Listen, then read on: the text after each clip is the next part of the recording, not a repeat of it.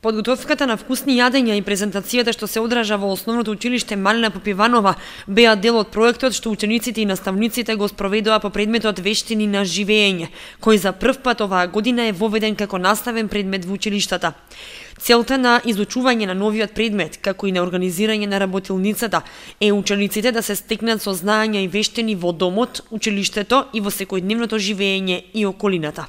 Акцентот е ставен највеќе на изучувањето за исхраната, значи, облекувањето, заштита, како да знаат да се заштитат лично и колективно од различни извори на загрозување на нивниот живот и потоа да знаат да знаат да се односно степен со вештини и умења како идни потрошувачи.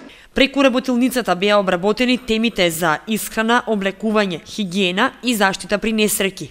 Ние по часовите вештина на живење учевме како да са да мест, а, како да се обликуваме, учевме за за како како да ги местиме алиштенцата, а, како да како се диста.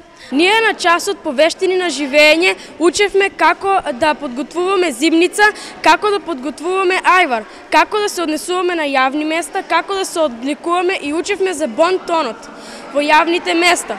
Децата практично го презентираат тоа што го учат по новиот предмет, а освен со подготовка на јадења, целта на изучување на предметот ја објаснија и преку драмска изведба.